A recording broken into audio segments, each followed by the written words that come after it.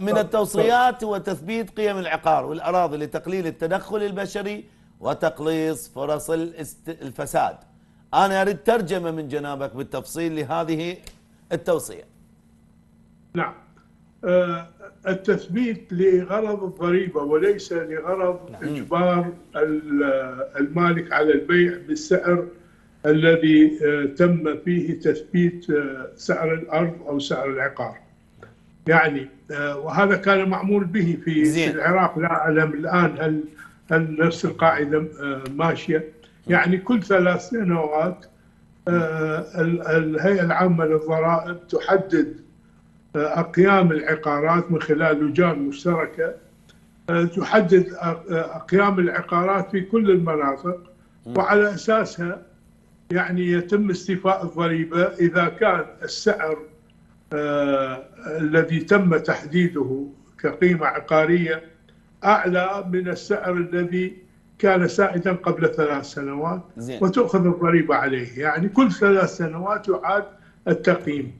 هذا التقييم لغرض تثبيت سعر العقار وليس لغرض واضح. أنا أسأل عن تأثيرها. ما تأثر ولو 1% على سعر السوق الحقيقي لا والفعلي؟ لا ما تأثر. هذه تتعلق بالضريبة على استيفاء الضريبة. جي الضريبة زين. ضريبة على أرباح العقار. آه هنالك ضريبة على أرباح العقار وليس على العقار هسه بعد ما أسمع تعقيبك عندي لك سؤال. أسمع تعقيبك تريد تعقب على قضية؟ هو هذا هو كل زين. تعقب زين خليني أخذ رأيك في موضوع تخفيض آه، آه، للخمسين بالمية الضرائب على شركات الاتصال. اسيسيلو زين هذا إصلاح ضريبي؟ هذا تم قبل موعد مؤتمر الإصلاح الضريبي.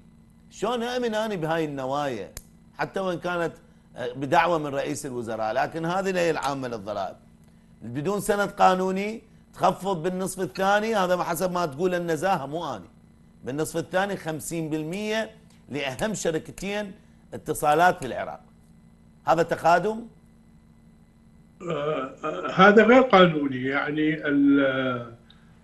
أي إجراء لتخفيض الضرائب على آه، آه، شركات محددة يحتاج إلى تشريع. من وجهة نظري. يعني أما أما بقرار من مجلس الوزراء هذا يعني ما أعتقد أنه آه، جائز. يعني هذا يشبه موضوع قرار الإفراج عن نور زهير؟ نور زهير يعني ليس من صلاحية رئيس الوزراء أن أن يساوم ويفرج عنا بكفالة ولحد الآن زين ترجم لي يعني بأكثر بتفصيل أكثر دكتور همام. يعني شلون أنا أطلع نور زهير؟ مو من صلاحياتي وإحنا ببلد قانون ومؤسسات. يعني أنا أقدر أعفي أبو سايبل أبو كشك أو بيت صغير من الضريبة أقدر أنا أطلع تسويها الهيئة العامة للضرائب؟ لو إلا شركات عملاقة بملايين الدولارات ومليارات الدولارات أخفض عنها الضرائب 50% هذه الفلوس مال منو؟ مال المدير مال أهل المدير لو مال العراق. أكيد أي تهرب ضريبي يعتبر جريمة. ومساعدة على التهرب الضريبي هو مساعدة على ارتكاب الجريمة. يعني أن أن أخفض الضريبة على آه، مكلف خلافا للقانون خلافا للتشريع القائم آه، لأن الضرائب تحدد بموجب تشريعات. يعني حتى النسب الضريبية يحددها قانون آه، قانون وبالتالي يعني لا يجوز لأحد أن يغير هذا القانون إلا بتشريع.